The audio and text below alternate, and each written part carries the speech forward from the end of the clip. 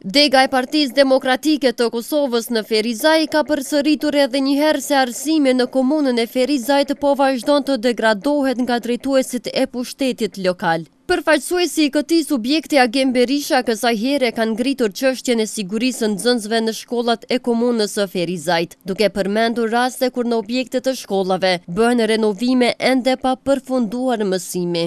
Shkolla Hajriz Muhedini në Dramjak, paralelja e ndarë, nga njëzet e pesë prilli e deri më tash punohet në çatinë e shkollës në paralelen e ndarë dhe merrni me mend edhe punohet edhe mbahet mësim në katin përdhes.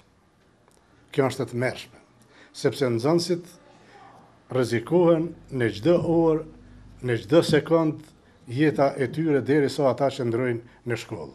Dhe për fatin e keq, ata e kanë gjetë kohën më të artë të nxënësve kur vilet dija, rrumbullaksohet suksesi i nxënësve, ata bëhen pengesë. Një kohë e artë për nxënësit, ata ballafaqohen me zhurmën e çekanave dhe krismat mbi çati, dhe me pasigurinë përbrenda në shkollë.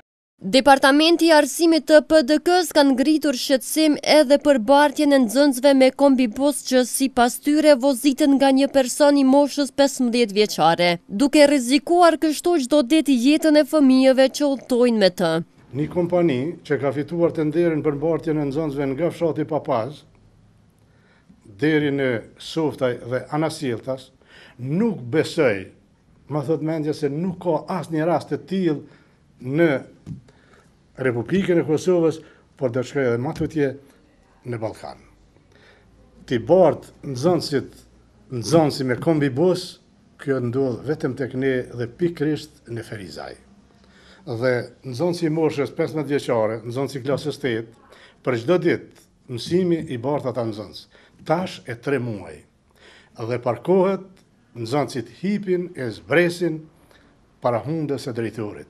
E din edhe drejtoria e arsimit, kjo është e tmerrshme. Fat që nuk ka ndodhur asgjë deri më sot, por është papërgjegjësi totale e drejtorisë respektivisht e organeve kompetente. PDK edhe sot u bëri thirrje inspektorëve të arsimit dhe organeve kompetente të inspektojnë shkollat dhe rrugët nëpër fshatra.